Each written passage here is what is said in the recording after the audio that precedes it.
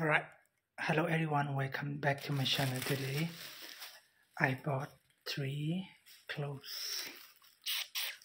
I would like to try my clothes. Is this fake for me or not?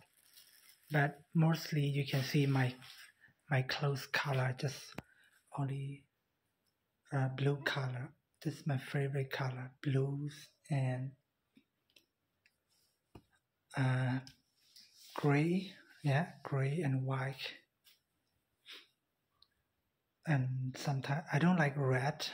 I don't i like i like black too you know.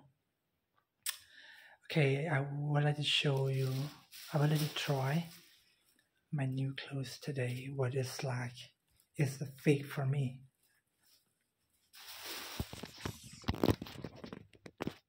Okay. First thing